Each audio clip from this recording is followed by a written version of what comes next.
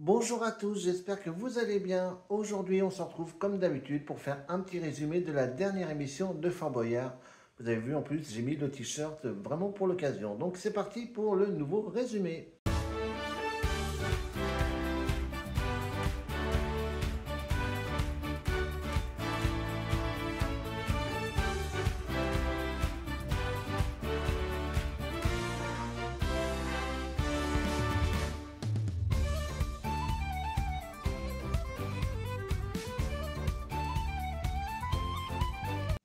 Va déjà commencer par la présentation de l'équipe. Donc le capitaine était Joe Wilfried de Sanga, ancien tennisman. Nous avions Laurent Mestré, animateur et ancien aventurier de Colanta. Nous avions Erika Moulet, donc une comédienne. Ensuite, nous avons Romane Duduic, également comédien. Manon Théodé, donc animatrice télé. Et enfin Julien Lib, donc dernier finaliste de la Star Academy. Et ils ont joué pour l'association Attrape la balle donc qui permet de réaliser euh, des rêves des enfants à travers le sport, donc euh, parrainé par Joe Wilfried Songa. Et la cellule interdite aujourd'hui était haute sécurité et on a retrouvé euh, l'ancien trésorier et le pire ennemi du père et qui était là pour faire, on va dire, pas des défis, mais des propositions très malhonnêtes hein, aux candidats, évidemment pour leur mettre des bâtons dans les roues. Donc maintenant, on va aller voir qu'est-ce qui s'est passé dans l'émission et il s'est passé beaucoup, beaucoup de choses. Il y a eu même des petits records. Donc allez, on va, regarder ça. Donc forcément, comme depuis le début de la saison, on commence avec la cellule interdite et c'est Erika Moulet qui a fait la connaissance du coup de l'ancien trésorier et qui lui a lancé un petit challenge. Il fallait euh, miser sur la réussite ou non de Joe Wilfried Sanga dans l'épreuve euh, qui arrivera, donc les Vikings. Si jamais Erika réussissait euh, son défi, eh bien du coup, euh, il y avait une clé supplémentaire. En revanche, si elle a raté euh, le pari, malheureusement, non seulement il n'y avait pas de clé supplémentaire, mais en plus, Erika finissait en prison. Alors, quel choix a-t-elle fait? Eh bien, on va voir, mais d'abord, on va aller voir un petit peu l'épreuve viking. Et donc, comme vous avez compris, c'est Joe Wilfried Songa qui s'y est rendu. Et il a réussi l'épreuve, donc bravo, il a eu la bonne méthode. Hein. C'est vrai que samedi dernier, Claude avait tapé au milieu du bloc de glace. Là, Joe Wilfried a bien tapé le haut du bloc de glace qu'il a bien brisé et du coup, il a réussi à récupérer la clé. Tandis qu'Erika, bah, avec le trésorier, avait parié sur la réussite de Joe Wilfried Sanga. Donc, c'est pas une, mais deux clés d'un coup directement. Donc, euh, grâce euh, à ce bon pari d'Erika Boulet, euh, donc avec le trésorier et du coup avec la réussite de Joe Wilfried Sanga à Viking. Ensuite, l'épreuve suivante, c'était l'horlogerie et c'est Julien qui s'y est rendu. Malheureusement, c'est dommage, il avait trouvé la bonne méthode, mais un petit peu trop tard. Du coup, il n'a pas eu suffisamment de temps pour récupérer la clé. Donc, échec pour l'horlogerie avec Julien. Ensuite, on a enchaîné avec une des nouvelles épreuves de la saison, Château Boyard, et c'est Roman et Erika qui se sont rendus à l'épreuve. Donc, Roman était dans le tonneau. Et ils ont réussi cette épreuve, donc ils ont une bonne méthode. Franchement, ça a été vraiment parfait du début à la fin. Ils ont eu fait que deux allers-retours, donc euh, franchement, bravo à Roman et à Erika qui récupèrent une troisième clé. Ensuite, nous avons retrouvé la cellule interdite. Cette fois, c'est le capitaine Joe Wilfried Songa qui s'est rendu euh, voir le trésorier, qui lui a proposé un dilemme. Il lui donnait 1000 euros supplémentaires pour l'association par contre, en contrepartie, eh ben, il fallait redonner une clé, ou sinon, tout simplement, Joe Wilfried refusait euh, ce dilemme. Et il a pensé à l'association et du coup, il a pris la, bourse de 1000 euros. Donc du coup, l'équipe n'a plus trois clés, mais deux clés. Mais par contre, ils auront 1000 euros pour l'association supplémentaire. Alors ensuite, nous avons eu l'épreuve du ring. Et cette fois, c'est Laurent qui a affronté Booster euh, dans, dans cette épreuve. Et il n'y a pas eu photo. Laurent a comment pulvérisé le booster en dehors du ring à deux reprises. Surtout la deuxième reprise, ça s'est fait en peut-être trois secondes. Hein. Donc là, c'était sans appel. Du coup, l'équipe récupère de nouveau une troisième clé, donc grâce à Laurent au ring. Ensuite, l'épreuve suivante était le débarras. Cette fois-ci, Cyril Gosbo était déguisé en Aladdin. Et c'est Manon Théodé, du coup, qui s'est rendu au débarras et qui a reconnu euh, les films assez facilement, à part le premier qu'elle a raté. Après, bah, les trois autres, euh, elle a enchaîné que des réussites. Donc ça fait une quatrième clé donc, pour l'équipe avec le débarras. Ensuite, l'épreuve suivante, c'était pour Laurent Mestré puis Erika Moulet qui ont été au flipper. Et puis, bah, comme d'habitude, on ne perd pas les traditions avec cette épreuve. Une nouvelle clé récupérée par l'équipe. Bon, comme je vous dis, hein, le flipper maintenant, euh, ça devient limite trop facile. Hein. Donc, en tout cas, l'essentiel de récupérer une nouvelle clé, donc grâce au flipper avec Erika et Laurent. Ensuite, Julien a été voir le trésorier dans la cellule interdite qui lui a proposé encore un dilemme. Donc, il savait qu'il allait faire l'épreuve suivante qui était la banque, mais il fallait qu'il ait un handicap avec. Donc, soit avoir un boulet attaché au pied, soit être euh, attaché avec un autre coéquipier euh, de l'équipe. Et Julien a décidé de prendre le boulet au pied avec lui. Et en même temps, bah, Passepartout a dégainé son petit indice et il a conseillé, il a dit le mur de droite donne toujours accès au petit coffre, donc euh, de chercher plutôt dans cette zone-là. Malheureusement, Julien a mis beaucoup, beaucoup, beaucoup trop de temps pour trouver ce passage et n'a pas réussi à sortir à temps. Il a donc été prisonnier dans la banque. Donc voilà, il a perdu énormément de temps et c'est vrai que le boulet au pied ne l'a pas aidé non plus. Ensuite, Manon, Théodé et Erika Moulet ont été faire un petit tour chez William, donc le restaurant chic de Willy Rovelli, et ils ont dégusté une dorade aux agrumes avec du sauce, streaming, donc le hareng très très très très fermenté, donc euh, vraiment le plat référence de Willy. Ils ont souffert, ça a été infâme, mais ils ont réussi à finir le plat et du coup ont récupéré encore une clé supplémentaire pour l'équipe. Donc du coup, là, on n'a pas eu William dans les indices, mais on l'a eu pour la quête des clés. Enfin, l'essentiel, c'est que ça a été réussi et ça ramène du coup une nouvelle clé pour l'équipe. Ensuite, l'épreuve suivante, c'était une épreuve en extérieur et c'était pour Joe Wilfried Sanga qui a fait le surf. Et malgré sa peur du vide, il a réussi à se mettre debout au niveau de la marque rouge, ce qui fait une nouvelle clé pour l'équipe. Alors attendez, attendez, je compte. 1, 2, 3, 4... Et bien ça y est, l'équipe a eu ses 7 clés. Et ça, c'est très, très, très, très rare de l'histoire depuis qu'il y a le jugement avec blanche et rouge.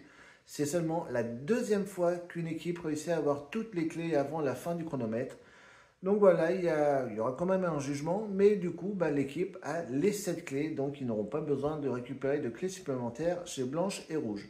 Mais comme je vous l'ai dit, on va quand même euh, avoir un petit jugement, mais avant ça, il va falloir libérer Julien, donc qui a été prisonnier à la banque. Et du coup, pour sa libération, il va retourner voir le trésorier à la cellule interdite et que du coup, le trésorier lui a dit qu'il faisait des tableaux, mais ben, il faisait des tableaux un petit peu faux, il mettait des petites erreurs sur les tableaux et il fallait que Julien en connaisse trois sur les cinq tableaux, ce qu'il a fait sans problème. D'ailleurs, si vous avez remarqué, hein, pour ceux qui connaissent bien l'attraction des lapins crétins au Futuroscope, c'était exactement les mêmes tableaux qu'on retrouve dans le Muséum des Lapins Crétins, donc version originale mais truquée euh, du coup par le trésorier. Mais en tout cas, c'était euh, les tableaux qu'on retrouve au Lapin Crétin. Enfin bon, le principal, Julien a bien reconnu les tableaux et du coup, il a pu être libéré de prison. Alors ensuite, malgré que l'équipe a récupéré les 7 clés, il y a eu quand même un jugement cette fois-ci pour euh, avoir un indice entre guillemets offert, puisque malgré tout, il y aura quand même un sacrifice à faire si jamais c'était perdu. Du coup, le ou la candidate serait quand même prisonnière.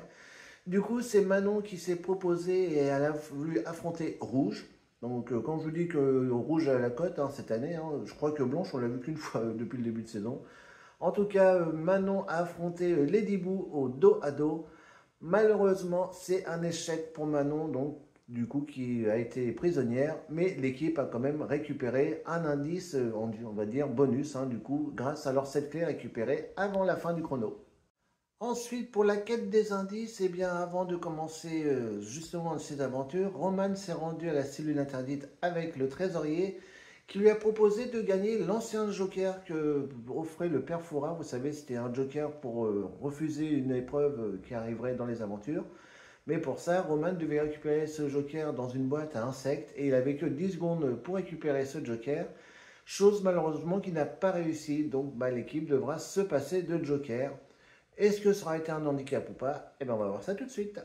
Et du coup, la première aventure était pour Laurent Mestré et Julien Lieb qui ont été au tir à la corde et ils ont affronté Booster et Big Boo.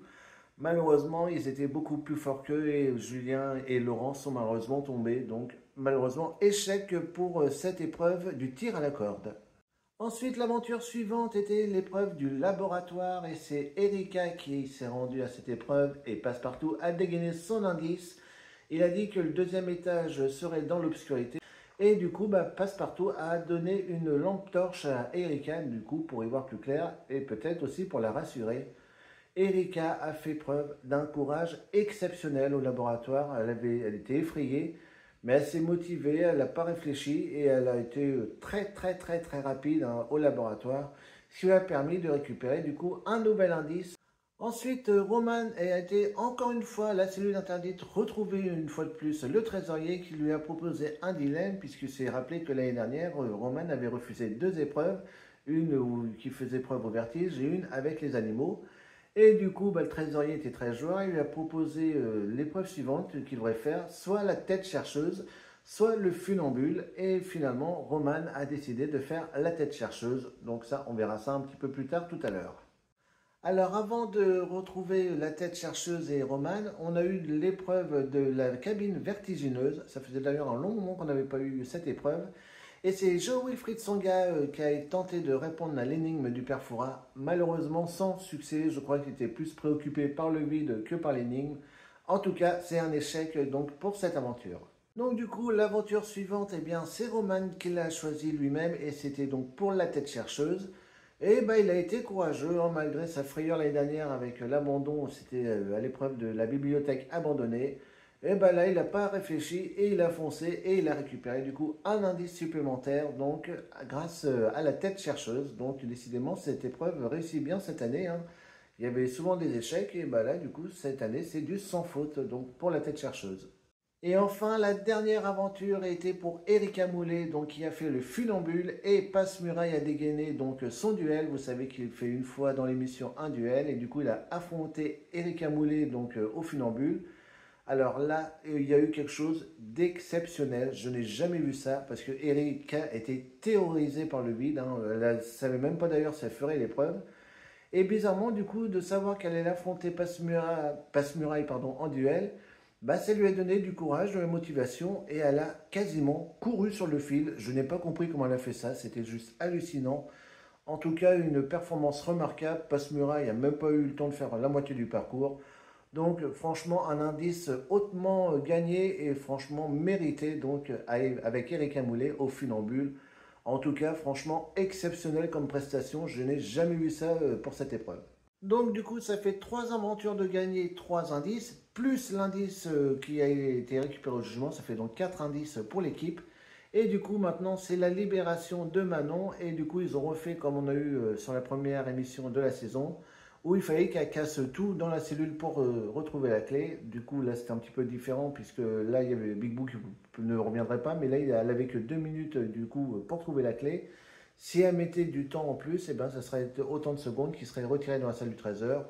Mais il n'y a pas eu besoin d'attendre deux minutes. Elle a trouvé la clé. Ça a été juste. Hein. je crois qu'il restait une quinzaine de secondes. En tout cas, elle a quand même réussi à trouver la clé qui était cachée euh, dans le clavier de l'ordinateur. Donc du coup, il n'y a eu aucune pénalité de temps pour la libération de Manon. Ensuite, c'est l'heure du conseil avec les maîtres du temps. Et du coup, c'est Joe Wilfried Songa qui a ouvert euh, ses duels. Et du coup, il a fait l'épreuve du poids. Donc, un grand classique hein, euh, dans les duels. Et Joe Wilfried a franchement bien tenu, euh, presque facilement, j'ai envie de dire. Donc, 15 secondes supplémentaires pour l'équipe dans la salle du trésor. Ensuite, l'aventure suivante, encore un grand classique, c'était l'aquarium. Donc, vous savez, on met les pièces dans un bocal et il faut pas que le bocal tombe. Cette fois, c'est Erika qui a affronté ce duel. Malheureusement, eh c'est elle qui a fait euh, tomber le bocal. Donc, malheureusement, duel perdu donc, dans l'aquarium. Et enfin, le dernier duel était pour Julien qui a fait l'épreuve du gramophone. Donc, c'est un jeu de mémoire. On entend différents sons et il faut que Julien euh, remette les sons dans le bon ordre. Malheureusement, sa mémoire lui a fait un petit défaut puisqu'il s'est trompé avant le maître du temps. Donc, encore une fois, un duel perdu. Donc du coup, l'équipe a récupéré au total 2 minutes et 45 secondes pour la salle du trésor. Et d'ailleurs, on va aller voir qu'est-ce qui s'est passé dans cette salle au trésor. Donc je vous rappelle qu'ils ont récolté 4 indices. Donc les indices étaient olympique, retour, lance et bougie. Et puis moi j'ai trouvé le mot code assez facilement, tout comme l'équipe qui l'a trouvé d'ailleurs au deuxième indice. Et c'était bien sûr le mot flamme. Donc ça tombe bien, comme c'est bientôt les Jeux olympiques. Donc, euh, du coup, l'équipe a. Alors, j'ai eu peur hein, parce qu'ils ne sont pas ordonnés, vous savez, dire toi tu fais le F, toi tu fais le L, tout ça. Ils ont été comme ça. Bon, finalement, ça a été. Ils ont été assez rapides quand même. Par contre, j'étais un peu déçu par euh, le total des gains parce que pour moi, ils étaient bien débrouillés, ils étaient rapides. C'est vrai qu'ils n'avaient que 2 minutes 45 dans la salle du trésor.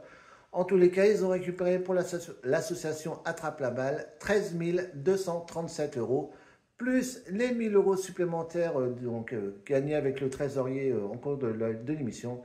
Donc du coup, ça fait un total de 14 237 euros pour l'association Attrape la balle. Donc pour cette première partie d'émission. Et du coup, après, on va aller voir s'il y a eu des gains supplémentaires avec la deuxième partie, Fort Boyard toujours plus fort. Alors au programme de Fort Boyard toujours plus fort, on a eu un petit peu les coulisses et la présentation des métiers des assistants réalisateurs. On a vu également le métier des costumiers, des habilleurs, maquilleurs et tout ça. Ensuite, on a vu un petit peu euh, le rôle et le comédien et les coulisses du coup de la cellule interdite, donc euh, celui qui a interprété euh, le trésorier. Et puis après, on a eu également des petits coulisses pour nous montrer la préparation de deux nouvelles épreuves de la saison, donc Château Boyard et la Supérette. Et bien sûr, comme d'habitude, toujours trois épreuves bonus pour l'équipe pour tenter de récupérer 1500 euros supplémentaires. Donc on va aller voir s'ils ont récupéré ces 1500 euros supplémentaires. Et du coup, la première épreuve bonus, c'était Joe Wilfried Songa qui a demandé à la refaire. C'était l'épreuve de l'araignée. En effet, d'un coup qu'il avait fait cette épreuve, il avait, raté, pardon. Justement, il voulait prendre sa revanche sur cette épreuve. Et du coup, il avait, je pense, bien calculé son coup parce qu'il avait bien une méthode en tête. C'est-à-dire qu'il n'est pas rentré dans la cellule comme ça, mais il a fait un grand bond et il a essayé de courir jusqu'à la cible. S'il a presque réussi à faire, il était quasiment arrivé à la barre. Mais en tout cas, il a eu quand même une bonne méthode puisqu'il a réussi à récupérer la clé. Donc du coup, 500 euros supplémentaires pour l'association. Ensuite, Laurent a fait la surprise du chef, donc la petite euh, course au trésor à travers le fort. Donc il est passé par l'horlogerie, il est passé par le muséum, il a été à l'infirmerie. Et du coup, il a récupéré la clé donc dans la ketchuperie qui était dans la fosse. Alors, ils ont été assez euh, vaches avec lui, évidemment tout en plaisantant, puisque c'est toujours de la bonne humeur la deuxième partie parce qu'il avait réussi à récupérer la clé sans tomber dans la fosse. Et Willy a fait une petite blague. Il a dit Ouais, mais par contre, bah, pour valider les 500 euros, il faut sauter dans la fosse. Ce qu'il a fait. Alors que ce n'était pas du tout nécessaire. Hein. La, clé était validée, les 500 euros aussi. Mais voilà, ils ont voulu que Laurent euh, saute dans la fosse à ketchup. Donc, bon, il l'a fait pour le jeu, pour le fun. En tout cas, bah, ça fait encore 500 euros supplémentaires. Et enfin, la dernière épreuve bonus, normalement c'est Erika Moulet qui devait y aller puisqu'elle avait perdu le petit jeu avec Willy. Sauf qu'on a appris euh, dans Fort toujours plus fort que Roman avait triché. Il était rentré dans une euh, salle où il a vu toutes les épreuves qu'il y aurait.